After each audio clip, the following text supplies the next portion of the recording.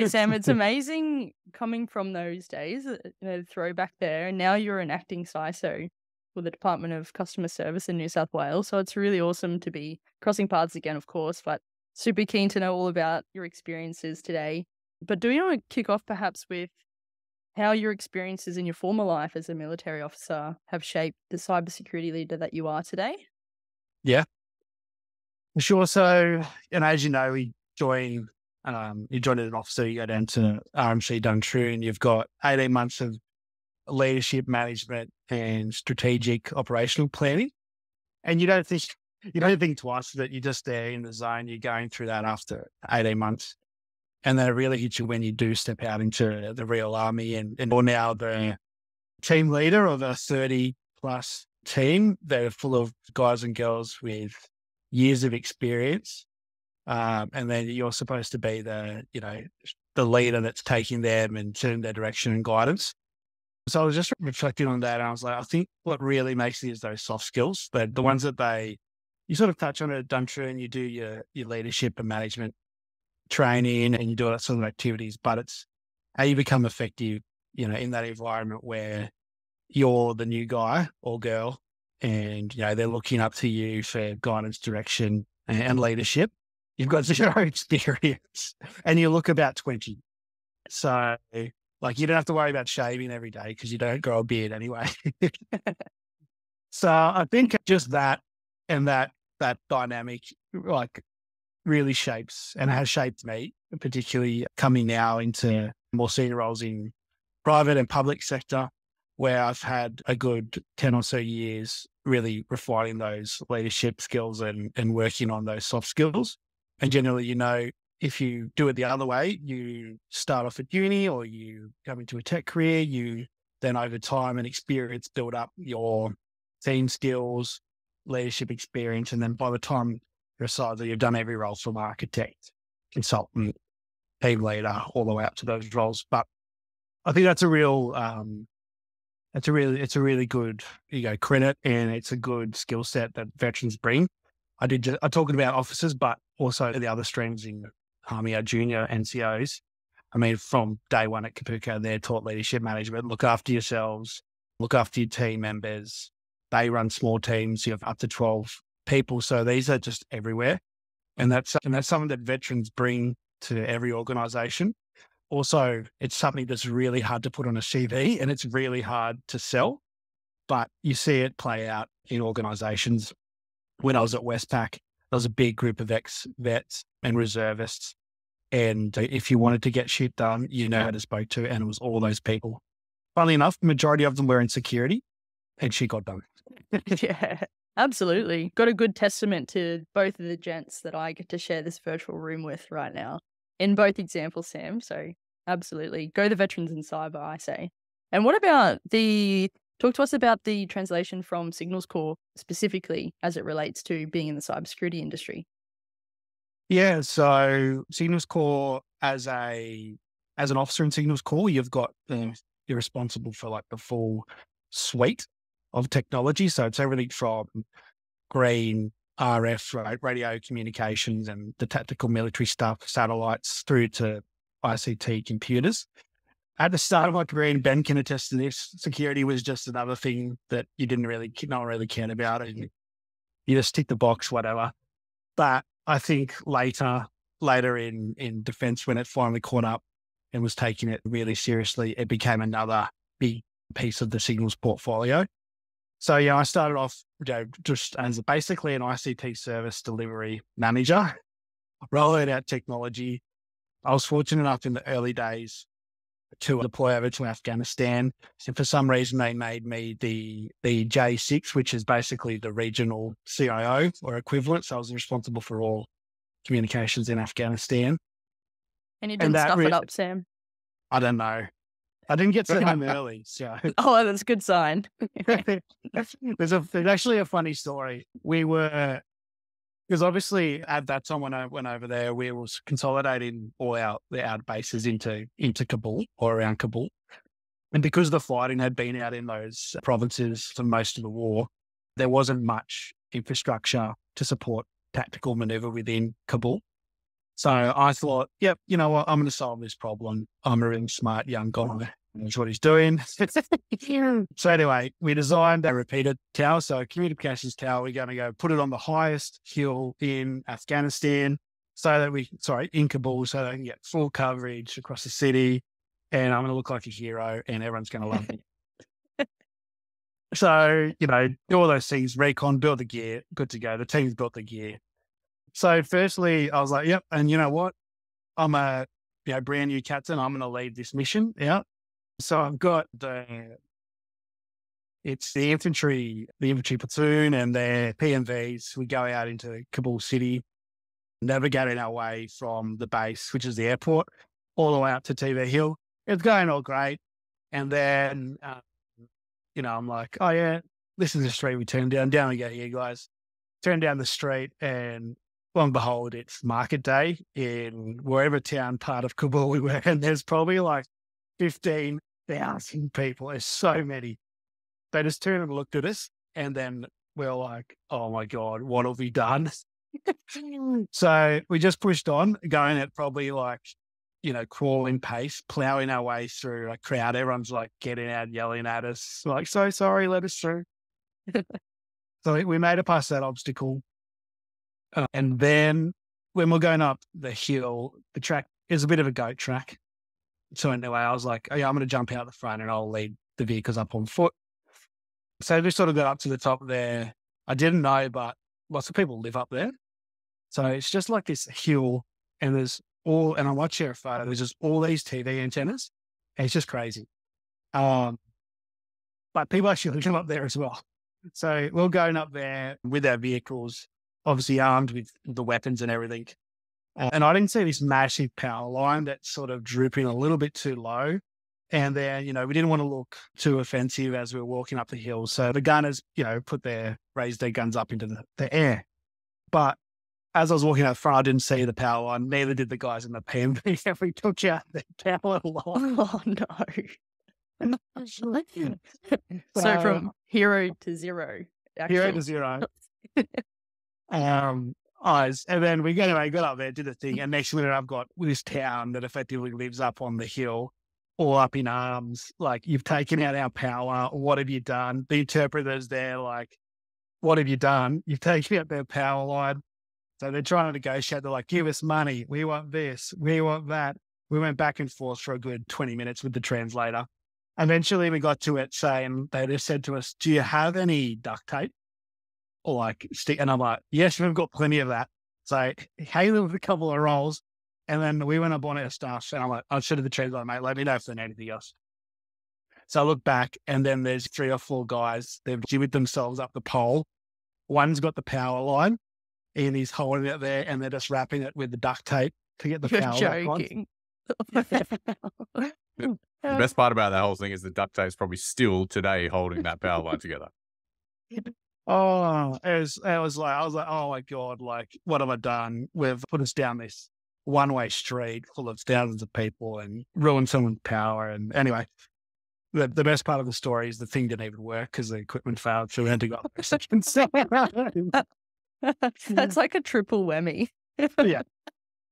You yeah. got to send me that photo, Sam, of what it looked like. It's really yeah, too. Yeah. yeah. Uh, put a good visual to it. Yeah. Nice. what a foray into being practically the CIO of that deployment. It's just like, yes. oh dear. yeah. It gets cold on top of that hill too. Just uh, very cold. yeah. Crazy. oh, ben knows the you you know the hill, Ben. Yeah, I know. I know intimately. I had a few faux pas up on that hill myself. they they shall remain anonymous. So did you try the goat the front that the guards have up there? That was yeah. disgusting. Yeah, I had that was one of my faux pas. I had some of the bread up there, and uh, yeah, it didn't end well. As in, yeah, yeah. Always wash it down with a full strength coke. Yeah, full strength something. That's right. Yeah. Oh dear. So you mentioned Sam. You mentioned the the lack of security early on in your career in the military, and as you mentioned, I can attest to that. Password one with a capital P was the password of choice across some systems that probably shouldn't have had that, but it evolved over time. And towards the back end of your career, you would have seen importance and significance of cybersecurity, especially being rolled out across the fleet of the Signals Corps. And we've now seen a tri service ECN, which is an employment category number for a role specifically within cyber. Talk through the importance of that and and then how that transition uh, then enabled you to step into your civilian role now. Yeah. Yeah. So I think by the time we started taking it really seriously, I was in so uh, Special Operations Command and we're working with the highly sensitive systems, which were governed and managed by the same Australian Signals Directorate. So that had some tight compliance requirements on that. And then from that, I think that's where we just evolved as a organization that we need to take this across seriously across all of our platforms. And initially we, you know, we did what we could with the people that we had. So we uptrained, you know, the geeks as we call them, but basically the IT guys and the technicians, which were our infrastructure, networking guys and girls, they were all upskilled in in security functions and requirements. And then from there, we just added it to our portfolio of other things that we did. Where it really sort of took off for me, when I deployed on Okra to Iraq, we got to do some really good work with ASD and particularly in terms of the offensive stuff in cyber stuff and seeing those effects on the adversary that we're against in, in, in Iraq really got me interested in that type of approach. And then from there, it just evolved into extended capabilities and supporting the defensive side on our systems. And when you look at it, I mean, it was just basically at that time hygiene and hygiene and compliance, patching that no one likes, you know, those basic physical security requirements as well to systems. So really that formed my view and really got me interested into cyber. And from there, did some did some study and came back to Sydney, still at the one two six Commando Six Squadron, and took on a um, sort of like a network operations center, security operations center for the East Coast of the region. And I had a really, really good team there. And that's when we started to take it really seriously. You know, we, we built out a SIEM platform. We were actually doing incident response to activities. Um, a lot of them were physical, um, issues where, you know, there'd been some sort of lack security on a network or infrastructure device and we detected some sort of activity on there. There's a there's a good story. I'll keep it brief, but we had there was a visiting people from some other location and lo and behold, we were sitting up in the briefing room and, and we got this alert that came through and a device had tried to establish a DHCP connection and retrieve an IP address um, so that sent everyone off into full response mode.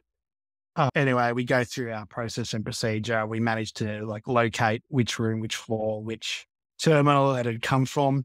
And it just ended up being, uh, you know, one of these guys wanted to charge his iPhone, but because it was from a different country, it had all the markings of an incident. So sent the alarm bells off going, but that was quite funny. Yes, that was pretty much it, it for military in terms of where we got to with cyber.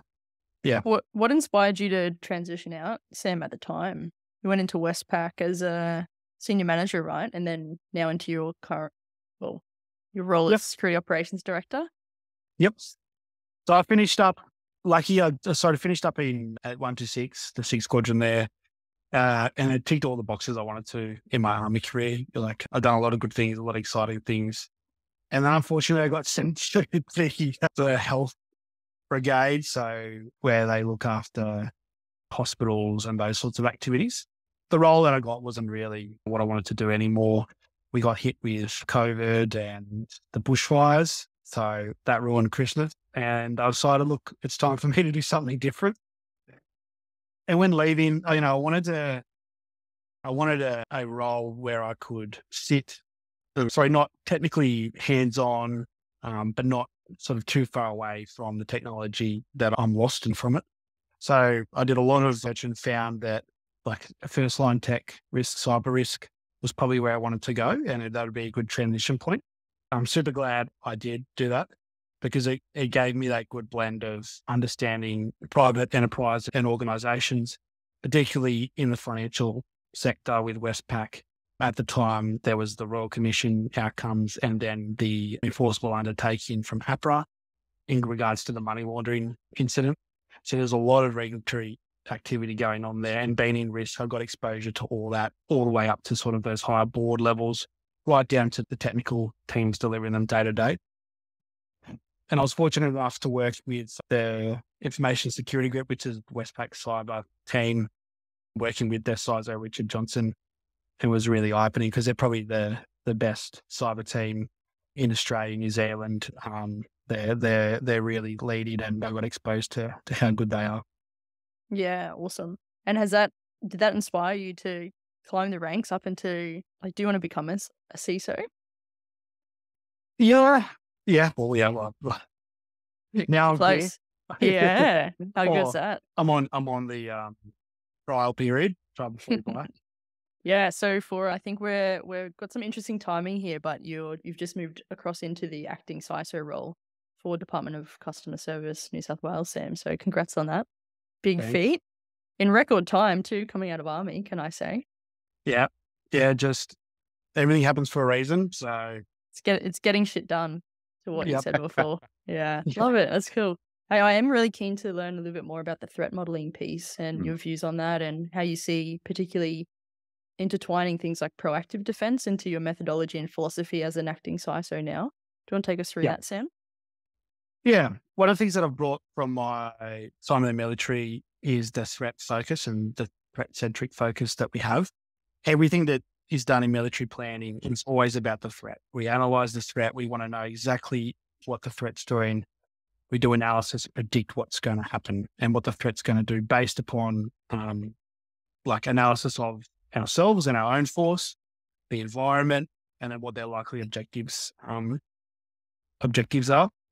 And one thing that I noticed, particularly with threat intelligence coming into cyber, is that we had and we've got all this good information. We've got all these really good little pieces.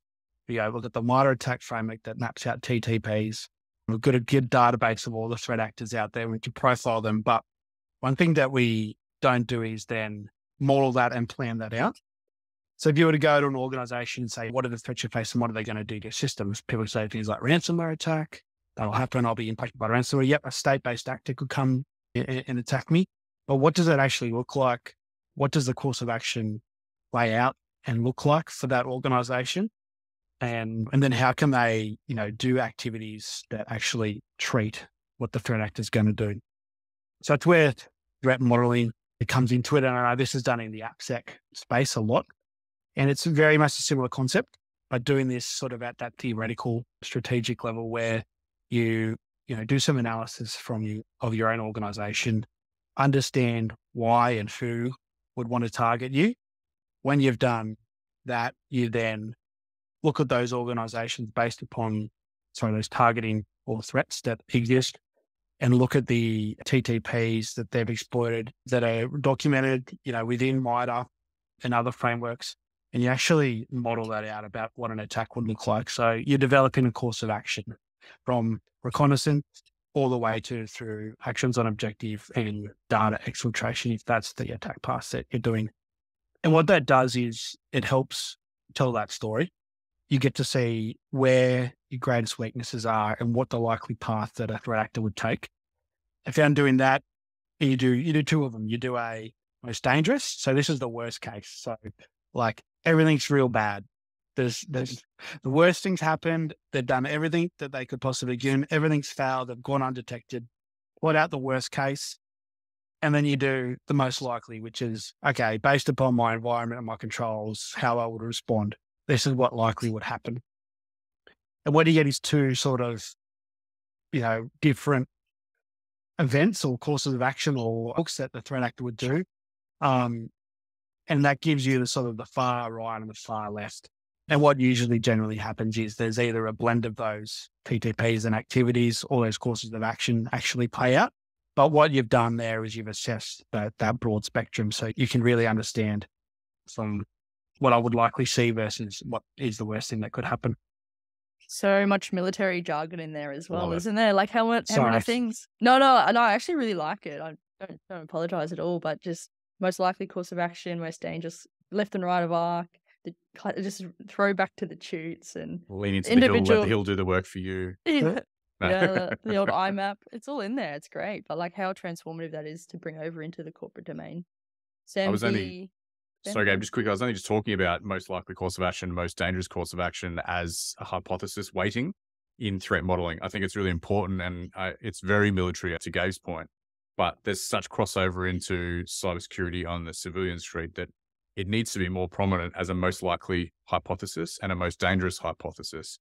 Having those two to be able to be the equation of the sum, which is your threat modeling, is very powerful because then you've got essentially a mission statement to protect against in both courses of action. Yep, 100%. And uh, what I've found it also, once you've documented that and you, you write out your statement, so you write out, like you said, a hypothesis, you write out what that would look like step by step. And you really then hone in on weaknesses in your environment. So finally, we were doing ours just before the Optus breach occurred. And that scenario is what we played out, or parts of that scenario is what we played out is our most dangerous. So then when we saw that come to fruition, we were like, okay, this is actually a really good thing to do because look, it just happened for them. And we've identified those, those similar sort of paths that the threat actor would take. Would you take that threat modeling into things like tabletop exercises, Sam, and then even into things like the proactive defense? Disruptions yes. and yeah. Yeah, hundred percent. So what we've what with that threat modeling, you can do a lot of things. I think first and foremost, it then bundles your threat intelligence. So you know your threat actor, you know what they're going to do or what they're likely going to do. You can then look for those specific TTPs across your environment. It actually shapes your threat hunting. You know, I'm looking for this threat actor that's going to be doing these chain of activities to target this. It really defines that for you and, you know, it shapes those activities. So rather than just going, yeah, you know, look for this TTP from this threat actor, it's actually an assessed and informed activity. It also shapes your incident response and your playbooks. So one thing we've done from that threat model is now developed specific incident response plans and playbooks that treat those courses of action. So use it, utilizing MITRE D3FEND as countermeasures as well. We we've built up those playbooks that treat those courses of action. So if we hit a use case that says to us, you know, like a, an indicator and warning, yep, these are things that we're seeing that we assess are part of our most dangerous course of action or our most likely hypothesis, we can then pull out that playbook and respond to that and sort of take that incident response away from reacting to what the adversary is doing to actually seeing and then planning and anticipating those activities and then potentially moving to conduct activity to stop that from occurring before they get there. Sam, how often should, and I know that folks listening will think of this as well, and in the military we used to do it quite often, but if your recommendation, how often should you review those hypotheses being the most likely and most dangerous and shift the hypothesis to a new tech, technique, tactic, or procedure based on the current market trend? That's a good question. We're sort of doing it quarterly at the moment. I think um, overall, your general high level strategic threats probably won't change that often. So, you know, depending upon you, the industry that you're in and what you're servicing, you're going to have a likely threat. So, for example, government is most likely going to be targeted by a state based actor. And then, you know, if, if there is a ransomware attack, it's more likely incidental or opportunistic. So that can sort of help shape those higher levels. In terms of reviewing the courses of action, quarterly is generally is something that we can do. But keen to hear what you think, Ben, because it sounds like something you've been thinking about as well. Yeah, I, I, agree. I think quarterly is, I would say that's the minimum. Uh, I agree to your point that, you know, you shouldn't be changing your highest priorities. But in saying that, it's a, it's an evolving landscape and the threats are consistently changing. So you've got to make sure that your most dangerous course of action is updated regularly enough that it is in line with the current market trend so that you're consistently prepared for the worst case scenario. Gabe, what are your thoughts?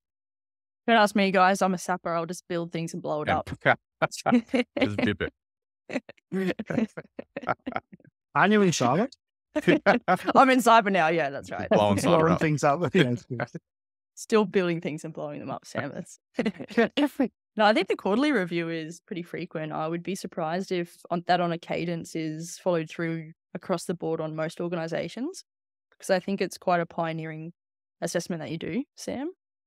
Um, yeah, well, not... like you know, we've only done it once. The plan is to do it quarterly. Yeah. Um, and yeah, it's a new thing, and it's it's not something that you can go get a third party in to do either. Like we've a lot of people go in, you go get a big four consultancy to come in, do a threat risk and controls assessment for me.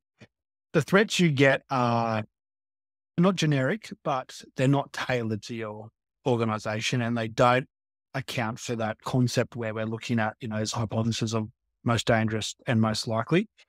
Um, so it still doesn't give you that, okay, what's the actual playbook or what's the actual scenario going to look like for me? Um, so that thing is a new concept. I'm going to do a pitch here for my CyberCon speech or presentation that I've got in March. So I'll be talking about a little bit about that threat modeling down there, the talks called a view from the dark side for operationalizing threat intelligence. Um, so we talk about putting those concepts that we sort of just discussed into play nice. and how you can basically pick that up and run with it. Awesome. Is that CyberCon Canberra in March, Sam? Yeah. Great. Yeah, awesome. Big I will be there and I will be in the audience taking notes. Yeah, it's good. Great. We'll have to link it. Our own haggles. Well. Yeah. well, time the release of the episode too, so we can coincide and draw point some audience towards it. Yeah, it'd be good. For sure. Hey Sam, what's next once you develop that strategy? You've developed your most likely your most dangerous course of action. Uh, is it tabletop exercises? I know you mentioned playbooks. That would be the natural next progression. But from there, is it tabletops? Is it making people aware? What's the procedures that, that you developed and you find best for the next step? Yep. Yeah. So we turn look focus at the security team. So it's building out those incident response playbooks, um, tuning our use case detection logic through our SIEM to look for change of those chains of those TTPs and any indicators that would tell us that those courses of action are playing out. And then focus in our security control uplift. So as an example, API was one of the, and at the API environment was one of the vulnerable points we identified in the most dangerous course of action. So now we're going out and where we can put a protective control in, we're putting that in. If not, we're either putting a detective or corrective control. So it really shapes and it's been shaping the way we go about prioritizing our security. The other thing, and Gabe sort of touched on before, the proactive defense. And it's a proactive defense is an old concept, but it, and I'm going to take it back to the military days. It comes out of information warfare, but it's where you're shaping the adversary. So then once you understand what they're going to do and what you think that they're going to do, you can then shape them. A lot of people use a threat intelligence platform where basically they put out a honeypot or a similar infrastructure to their own and then let that get attacked and see those TTPs. And that's a form of proactive defense. But once you've done that threat modeling and assessment, you can actually understand and what you're looking for and, and whether or not what you're seeing on that threat intelligence platform feeds your hypothesis. And if it is, those threat actors playing out. So that's one one mechanism of, of proactive defense. But I think also understand once you understand the threat, you know what's going to happen. You know, you've assessed and you think you know what's likely going to happen based upon your assessment. Nothing's ever a purist. But you can go out then and then do things and activities related to that. Um, whether it's, you know, if you think that, okay, the threat actor is going to compromise XY sort of domain, they're going to try and spoof um, XYZ to gain access to my users through phishing. You go out and conduct activities where you're actually actively looking for those things and preventing the threat actor from getting that initial foothold as part of your course of action be remiss of me not to mention episode 28 Dark Mode with Richard Bird, who is one of the leading uh, for API security. So if anyone is interested in dialing back to episode 28, Richard Bird is another one to listen to, as Sam mentions the importance of uh, API, especially as, as your most dangerous course of action. So just a shout out to that episode for anyone that wants to dial back and listen to API security and, and why it's so important in today's realm. Sam, your views on cyber engagement it probably gives us a bit of a teaser into your leadership philosophy as well as a CISO. But um, your views on what was it being a disruptor versus being a builder? As that relates to industry engagement? Yeah. Yeah, I think I've seen this play out when I joined the department. My role, not the size CISO role, but actually the size CISO role and my role were just created. Obviously, the 2020 Service New South Wales breach had occurred. The department went through a, a really big review um, and invested in in cybersecurity, creating um, the the CISO team. And I think from the experiences from that, I found that you know, off the bat, you can use that disruptor style where you are basically the bulldozer. Um, you know, we've just been impacted.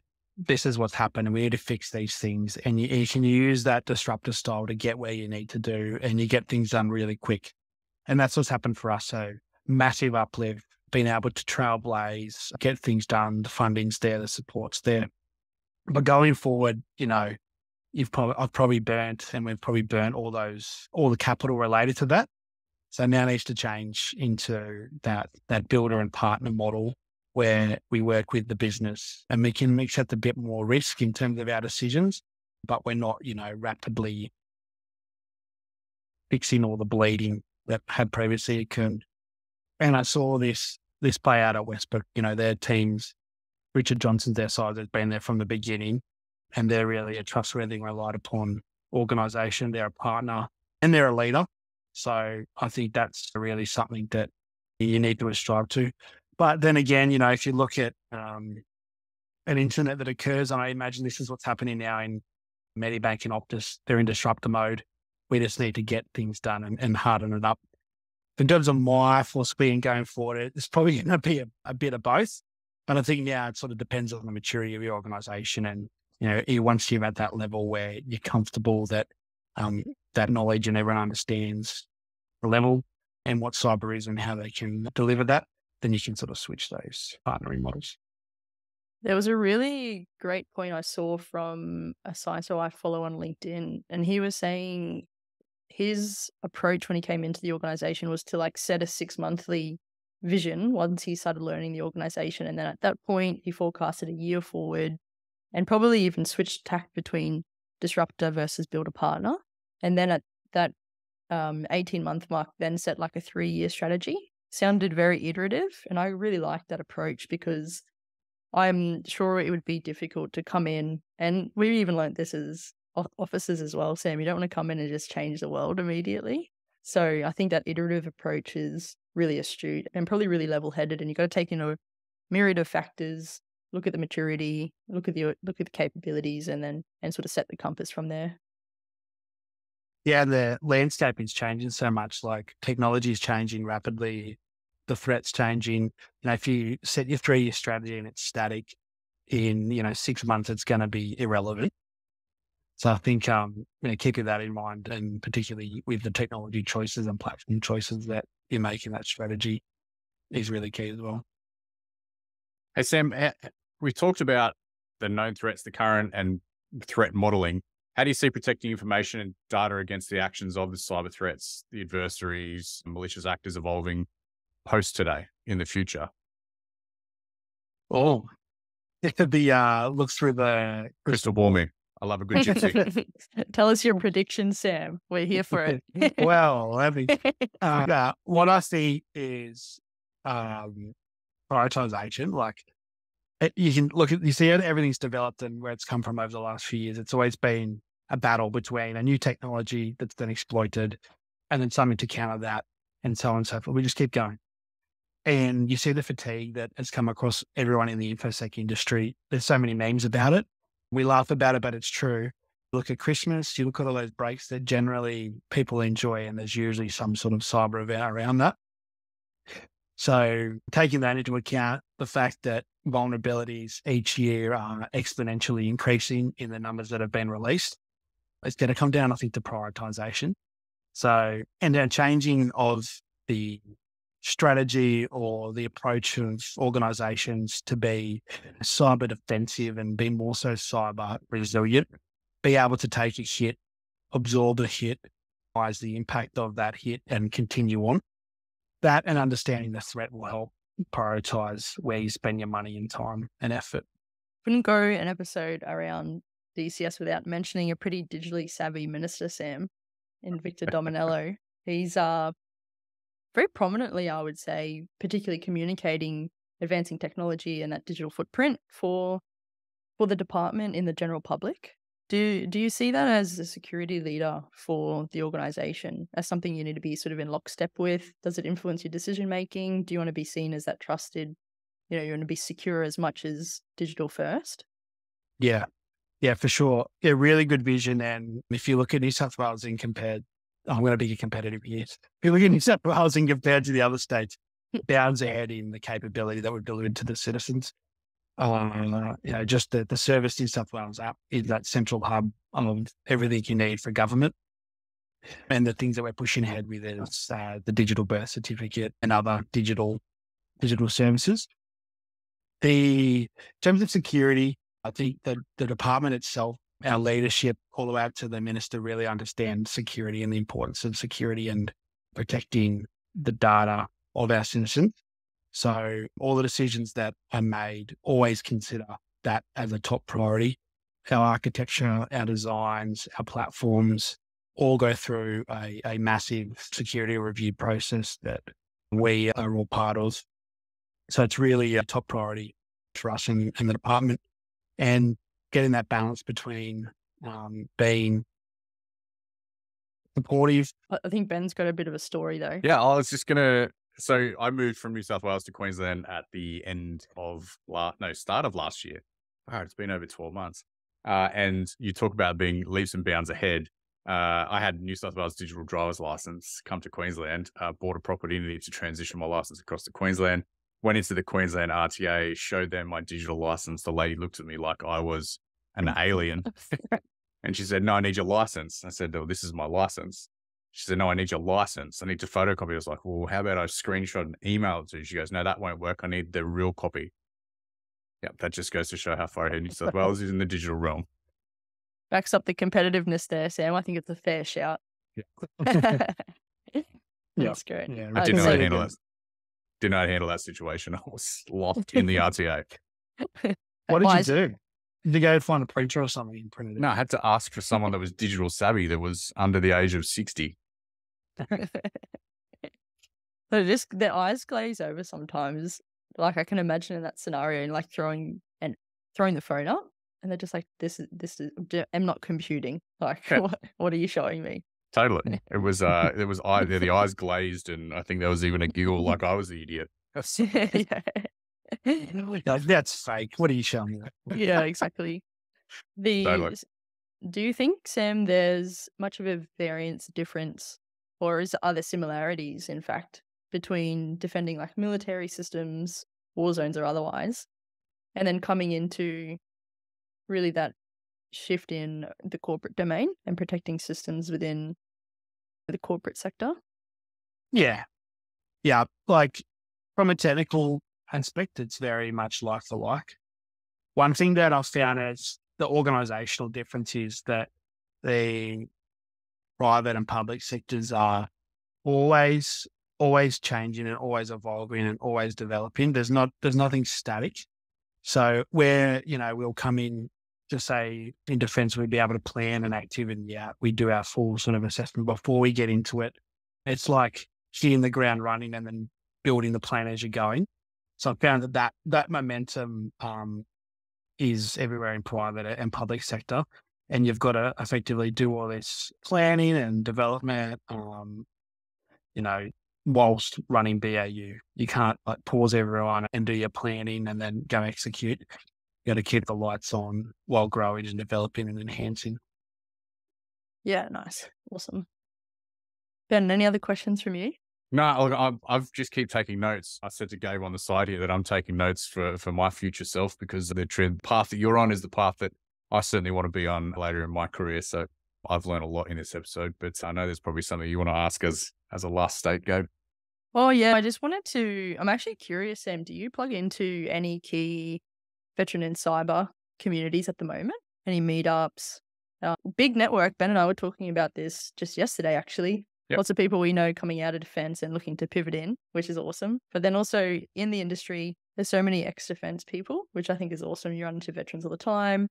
You know, unfortunately, there's not as many engineers as signalers as uh, in the in the industry, but maybe we can change that in the future. It's just But, an um, intelligence thing, Gabe, I think. Yeah, yeah, that's what it is. That's right. Yeah. Like day one selections. Specific criteria. diversity, diversity. Um, but yeah, do you do you plug into any communities at the moment? No, I'm bad. I should. Yeah. Um, I, I do, and I really want to do something like that. Um, like the New South Wales government has a veteran employees program. Um, it's not geared towards cyber at the moment, but that's something that I really want to work with our New South Cyber New South Wales team to, to get into because that's again, like you said, there's so many veterans that have spoken about the benefits and like the capability that all veterans bring into industry. It's just like a, a talent pool that we really need to tap and leverage. Yeah, couldn't agree more. We just spun up our veterans group within Palo Alto Networks internally for ANZ, which is awesome. So we'll start opening that up as well. Ben and I spoke about launching a meetup or something, connecting the industry and the like. And yeah, definitely let us know if you get something up and running in New South Wales, but even across the region too. I'm sure we can keep growing it and keep connecting. I help Yep. people transition, you know, catch up generally. It's, it's a really awesome community to be a part of. One thing I've come across as well, a lot of police, we're getting a lot of ex police um, as well, and a paramilitary organization, similar concept, similar approach, similar mindset. They're another, you know, wealth of talent um, that that we're seeing come through the cyber realms and putting them into practice. So, um, again, I think that's something as well we can look at is how we build out, extend the veteran community into those other types of emergency services that are that are doing a similar a similar thing. Just a quick one for the listeners too. Uh, that's a great point, Sam. And if there are first responders and ex-military or transitioning, reach out to Gabe and myself on LinkedIn because we want to help. We want to make sure that you're supported in the transition and hopefully into the cybersecurity industry. So reach out on LinkedIn and we'll be there to help. Dark mode meetup. How good. Dark mode meetup. It's got to be Dark- dark though. Dark mo- dark meetup. Dark mode up. Dark mode dark mode bit. Too good. Hey Sam, thanks so much for joining us in Dark Mode. It's been really insightful. Looking forward to continue working with you, get you on another episode and looking forward to supporting you on the sidelines in the new role at DCS. So thanks very much. Yeah, awesome. Thanks for having me, guys. It's awesome. Thanks, Sam.